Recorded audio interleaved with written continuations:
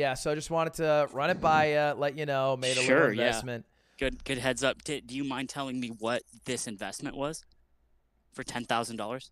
Yeah, sure. No, I don't mind at all. Uh, let me throw a couple names at you. Moist Critical. Does that ring a bell? Yeah. Moist Critical. He. Uh, yeah, I'm not sure what that means. Okay, go ahead. Go ahead. point five mil on YouTube. Let let me throw another name. Mizkif, top uh, fifty streamer on Twitch.